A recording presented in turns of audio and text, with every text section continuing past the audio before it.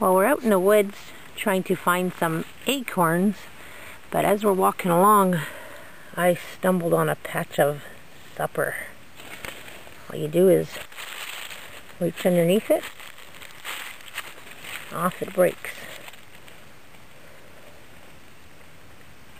Isn't that just beautiful? Here's another little patch. Like that. Becca's gonna grab a little one. Thank you, Becca. Looks like we stumbled upon another one.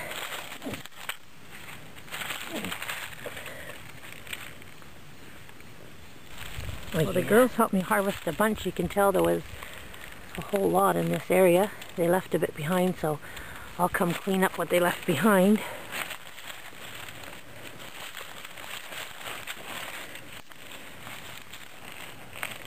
Here,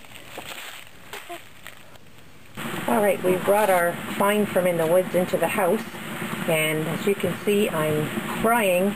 This is called dog hair or deer antler or hunter or club or coral fungi and it is absolutely scrumptious, delicious mushroom and we're just sauteing it in butter and in a little bit we'll be adding some sliced mushrooms. I mean and in a little bit, we'll be adding some sliced onions and garlic to it as well. And we're just going to fry them just like you normally would saute up the regular mushroom. All right, in goes chopped onions. I love chopped onions. Mm -hmm.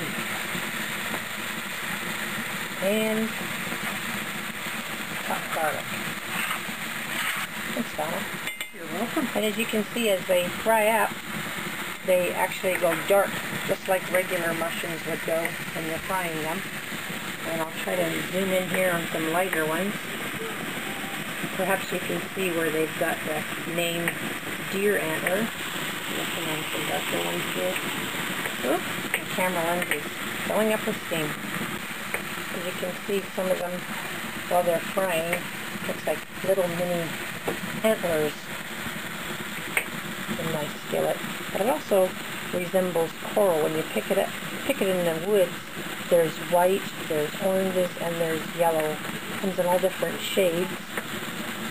And you're you're careful when you pick them not to pick them if they're becoming mushy or gelatinous. You need them firm, just like you would when you go to the grocery store when you're choosing your portobellos or your little white mushrooms.